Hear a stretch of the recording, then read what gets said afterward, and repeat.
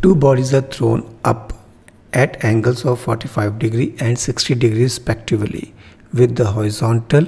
if both bodies attain same vertical height then the ratio of velocities with which these are thrown is तो दोनों की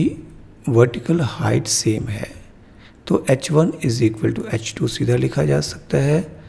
और हमारे पास formula क्या होता है u square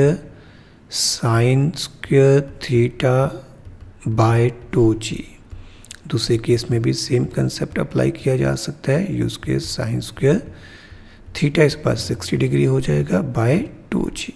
Two g will cancel out we can write down u one square by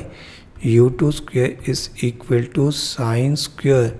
sixty degree by sine square 45 degree तो अगर मैं स्क्वेयर रूट लिखूँगा तो u1 one by u two will be equal to under root three by two upon one by root